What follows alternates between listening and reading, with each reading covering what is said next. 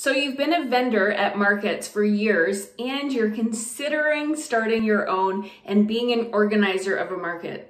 Stay tuned to today's video where I'm going to share with you some tips and tricks on how to best do that in bite-sized chunks, which I offer to you every Tuesday. So let's get to it. So I want to take you to a story about my very best market that I have ever done. Um, it was put on by two girls who had never put on a market before. Um, they had decided that they had been vendors at markets for years and they wanted to try it out and see, you know, what it would take to be an organizer. Hands down, the very best market I have ever been a part of, and here's why. First of all, they were very clear in communicating to all of the vendors what to expect, when to show up. Um, they were there when we did show up to help us set up our booths.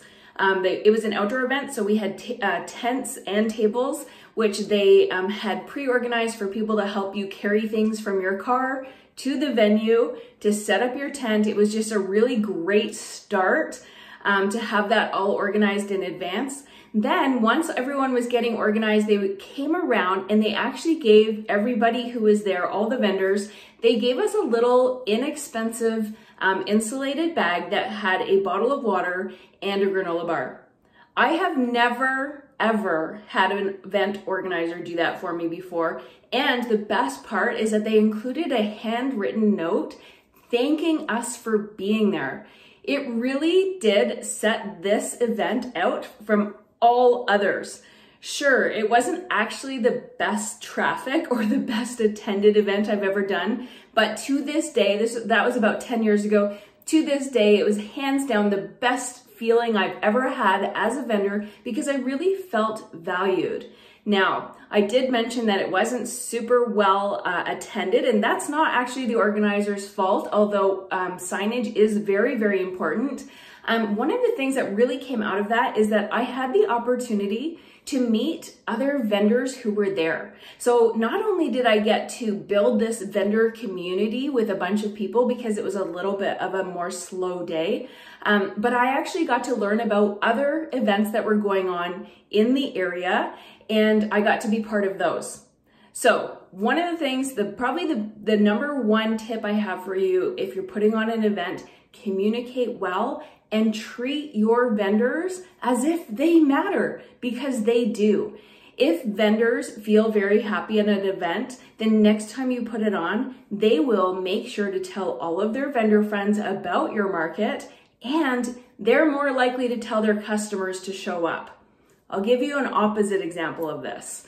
Um, and as a vendor, I should kind of throw in there that I, it is not my responsibility to get customers to your event as the organizer. And if it's the first time this event has ever happened or my first time working with you, to be totally honest, I'm really not telling my customers about the event because I don't know what to expect myself. So if it's not going to be a very good event, it's not very well organized, I don't really want to be putting my name beside that to my customers. So bear that in mind as well. But if you have really great communication, if you give them very clear instructions when they show up, where they're going to be, um, you're accommodating to a certain extent. Of course, you can't set up everybody's booth for them, um, but if you're accommodating to a certain extent, so for example, if somebody needs an outlet, make sure that they're close by to an outlet or that you have an extension cord or that you've communicated to them that they need to bring an extension cord, that's fine. Just do your due diligence in communicating and communicating very well.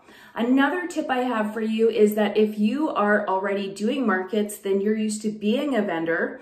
Now you're trying to flip the tables and you're trying to be the organizer, which is great. And a lot of people do this. However, your vendors are paying to be there and they need your attention first. So whether that means you set up your own booth the night before or you come earlier before all the other vendors get to be there to set up your booth, you really do need to spend your time and attention helping other vendors, not focusing on your own booth. I have lots and lots of tips for you. Um, I did write a, a workbook for you um, for market organizers. It's free. I will drop the link in the comments so you can just fill that out. Um, I'll capture your email and I will send you a free copy of my market organizer workbook. And if you'd like, I can also include the free vendor workbook. So in case you missed last week's video, I will post it here, but this is on how to be a market vendor.